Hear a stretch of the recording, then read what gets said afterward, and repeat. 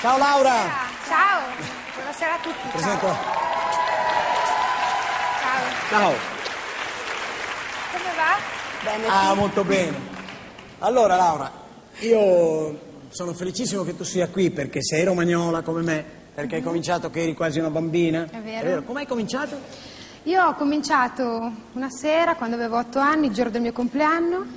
Mio papà suonava in un piano bar di Bologna, Sì, che io conosco bene. sì, e mi ha chiesto cosa volevo per regalo quell'anno. E io ho chiesto di poter salire sul palco con lui a cantare una canzone.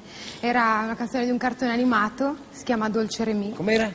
Dolce Remi, piccolo come sei. Sa- Avevo otto anni, ero piccola, ma poi dopo ho cominciato a imparare delle canzoni che mi hanno aiutato a amare ancora di più la musica e a fare piano bar per tanti anni, fino a 18 anni quando sono andata Io posso confermare perché a Bologna, alla pizzeria Napoleone, che ancora salutiamo. esiste, salutiamo naturalmente, c'è un piano bar proprio lì dietro e molti musicisti bolognesi, molti cantanti bolognesi, da, da Dalla, Carboni, Guccini, Vasco Rossi, io stesso, siamo andati a vedere questa ragazzina che cantava insieme a suo padre e tutti eravamo piuttosto stupiti della, della bravura di, Laura, di, La- di questa ragazzina. Qualcuno ha anche tentato di farti così delle proposte di lavoro, Sì, oppure sì. poi Poi- com'è andata a finire?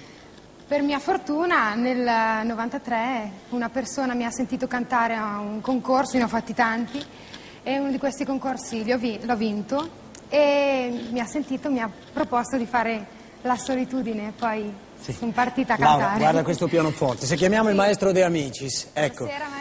Ricreiamo quel momento di. Sì, sì. di- ecco. Mi ricordo che.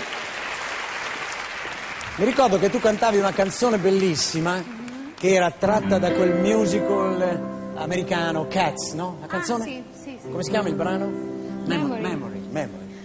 Memory,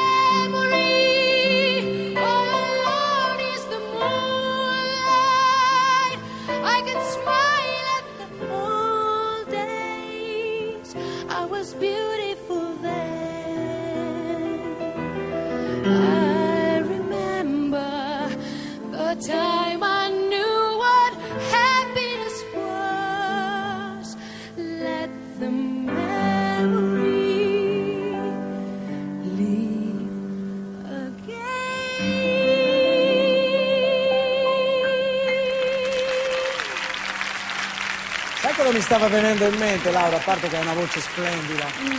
I miei inizi.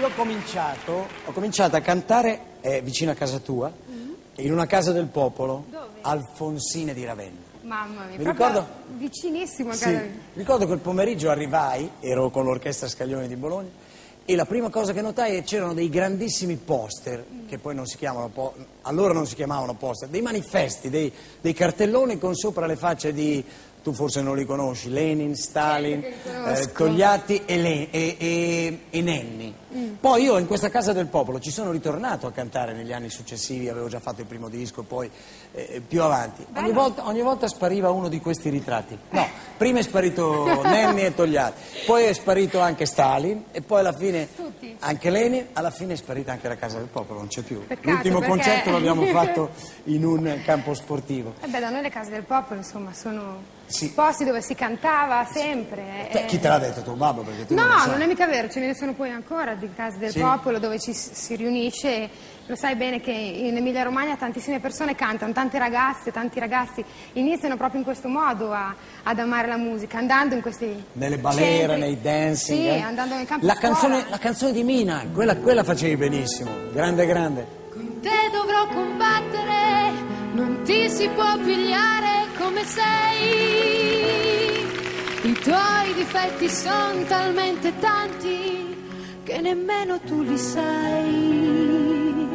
Sei peggio di un bambino capriccioso, la vuoi sempre vinta tu. Sei l'uomo più egoista e prepotente che abbia conosciuto mai. Ma c'è di buono che al momento giusto